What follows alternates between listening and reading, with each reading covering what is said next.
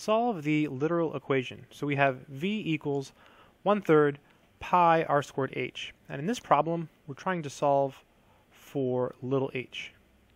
So little h is over here at the end.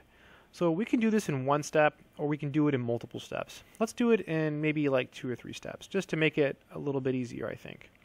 So the first thing um, that's kind of uncomfortable is this fraction. So let's go ahead and get rid of the fraction. To do that, um, you can just multiply by 3 because that'll get rid of the 3 on the bottom. So 3v is equal to 3 times 1 third pi r squared h. You see, and now they, they cancel, they go away.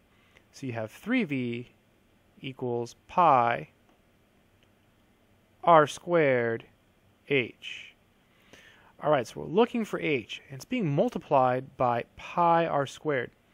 So in order to undo that, we have to use the opposite operation of multiplication, which is division. So let's divide both sides by pi r squared, divide by pi r squared. So this goes away. So we have 3v over pi r squared, and that's equal to h. And that's it.